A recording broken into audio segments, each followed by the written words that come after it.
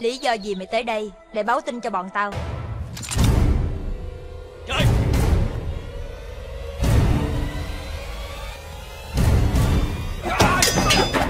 Theo mày? Thì rừng này là của ai? Y sinh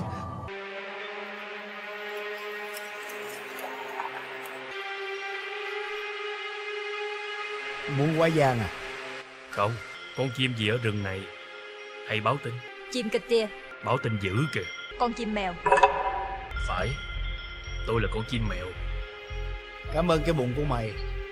Nhưng chậm rồi. Hay mày định chờ ra tay khi đôi bên đã đuối sức? Tôi không quen chơi cái kiểu bỉ ổi đó. Vậy thì mày hãy đứng sang một bên đi. Vì một trong ba bên sẽ bị xóa sổ. Cũng hài hước đó ông Cọp Lan à Tôi chỉ cần báo với ông như vậy. Còn tùy ở ông? Lý do gì mày tới đây Để báo tin cho bọn tao? Vì cảm tình Tôi chờ coi cách hành xử của ông như thế nào.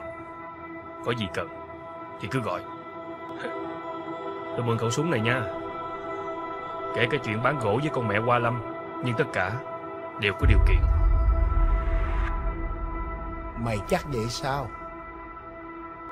Sẽ có người đón ông Nếu ông còn cái này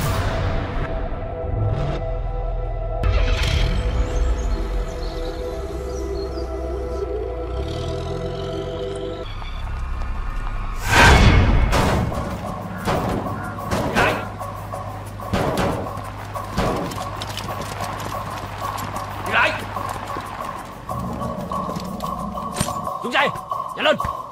Thằng cáo già đó đâu? Nói về con gái nó mất tiêu rồi.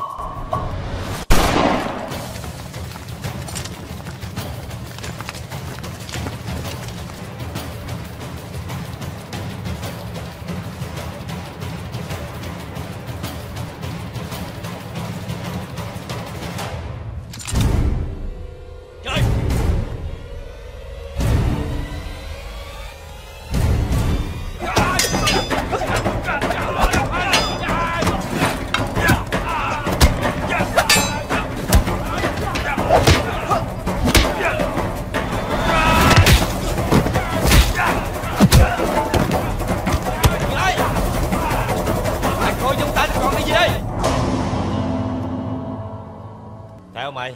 Thì rừng này là của ai? Y sinh Cái tao cần là câu trả lời của mày. Về quyền làm chủ của khu rừng này Chứ không phải là cái mang dài chối tích sự của mày. Nói đi Rừng này của ai? Rừng này là của tao.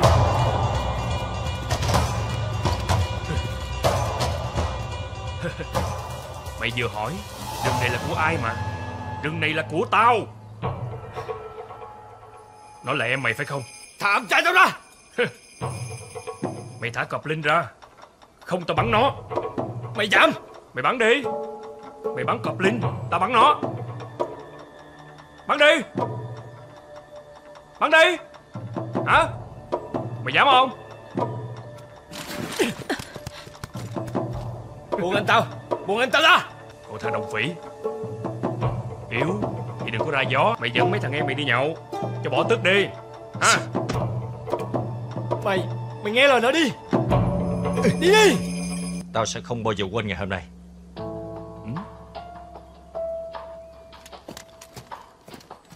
Đi.